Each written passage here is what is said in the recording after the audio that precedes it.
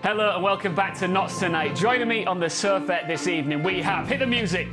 SKL double R to the S. He's a DJ and a TA, and he always says, God bless! It's teaching assistant, Beat Naked Beast, Martin Stack.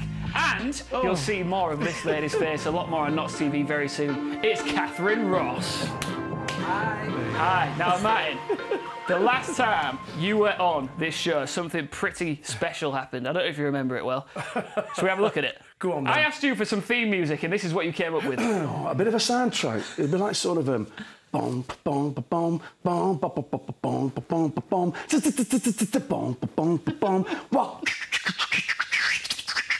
Wah, wah. What? What is my favourite bit? And I can confirm that since then, that, that is now my ringtone. I was sat in I've a seen it, I was amazed. I was sat in a public space the other day, just went boom, boom, boom. Anyway. All right, first up on our menu of conversation this evening, a Nottingham club promoter says that the UK is missing out when it comes to nightclub culture. Louis Knight's events are inspired by the party scene in Berlin, and he's determined to bring a taste of the German way of raving to Nottingham. The Waves is a music event um, which is based on um, Berlin's passion and culture towards clubbing, especially within the house and techno scene. One aspect that I tried to bring is a sense of community. So you get to know people because you arrive early doors and you get familiar faces. I think the whole country is missing out on this kind of culture, especially after living in Berlin, actually loving that kind of relaxation within the house and techno venue. So you don't have to go and take loads of drugs and have to deal with the day afters and stuff like that. You can come to a very respectable event um, and enjoy house and techno. I like to use rough trades because um, we are keeping it within the, the independent kind of music industry. On May the 19th, we've actually um, sorted out a Berlin-inspired food menu. So they're going off what they normally do, which is really good anyway. So we're going to be having Frankfurter hot dogs, um, kind of like lamb kebabs, and we're also going to have vegetarian and vegan options, obviously, so we can cater for all.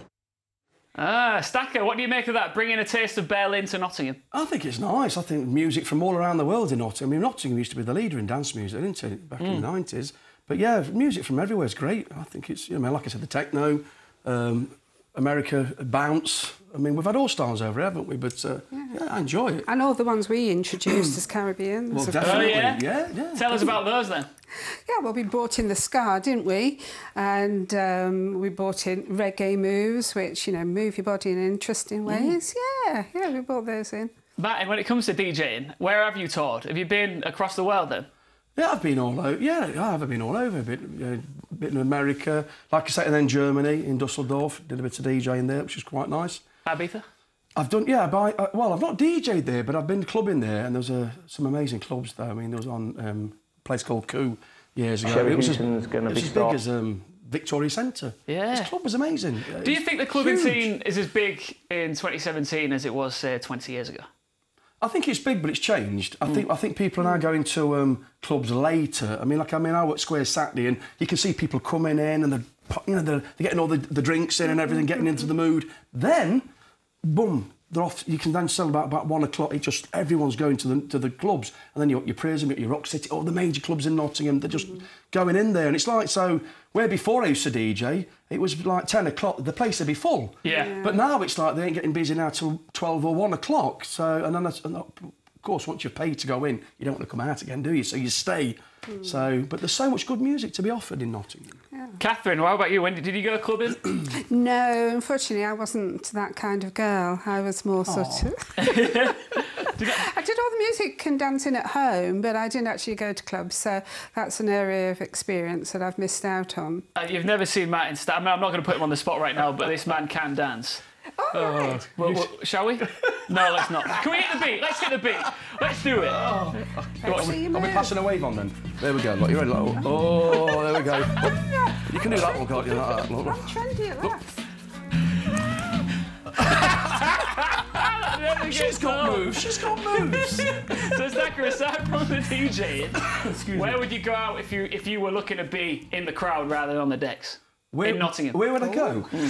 Excuse me. I say Um, would, or club I, you well, the last club I went to was Prism, and that was quite nice. That's in Nottingham because it was just that VIP treatment. As soon as you walk in, they like want to look after. I thought, hey, this is nice. And years ago, that didn't wasn't wasn't the main thing. Yeah. But then again, then you go to places like Rock City, and you think, whoa, the bands that have been here, and you, you're, you're Yeah, under yeah. that same roof as like some of the mm. big bands like Human League, and then you know mm. the latest bands. And then you've got for a student thing, you know, you've got your Oceana, and it's the be- it's probably the best student night you can ever have. You know, mm. just but Nottingham's just great for clubs, isn't it? Like, But- people should be coming to Notts and then taking our culture elsewhere. That's what I think. Exactly. Welcome back to Notts Tonight. Joining me on the show this evening. You'll never get sick of, sick of, sick of his skills. He's a DJ and TA to pay the bills. It's musical master, walking, talking, ghetto blaster, Mr. DJ Skill Master.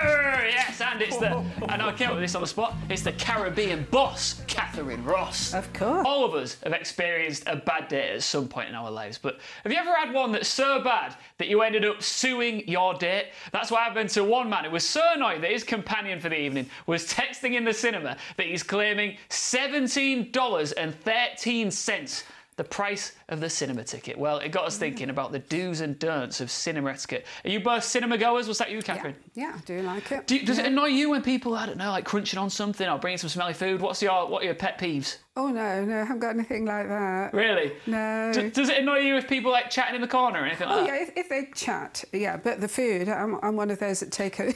What do you, what sort of group do you I take to the take in my cinema? nachos. Martin?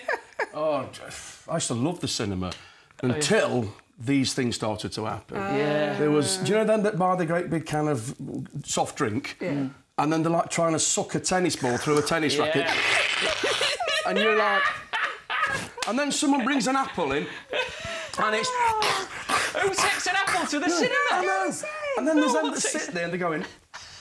Like that, and you're sat there trying to watch the film like this, and you look behind and he's about seven foot three, and like, cheers, mate. Hey, that'd be good for something like, like Titanic or something. If you say Yeah. you're, you feel like you're in it, you'd be doing it. And then the other one, someone who's I've walked six miles to get here to watch this film today, and then they take the trainers off. Oh, you, you've, you've seen it all. Oh, but the me. question is, are you the kind of person, right? For example, you're sitting there, it's about to start, the music gets da da da da and all that, and you're in, and all of a sudden someone goes, "Oh mate, what do you think about what happened last night?" Would you say, "Hey, you, shut up," or would you, uh, "Shh," Oh, or would you just ignore him and let him have it? Let him have it. I'd leave know, well alone.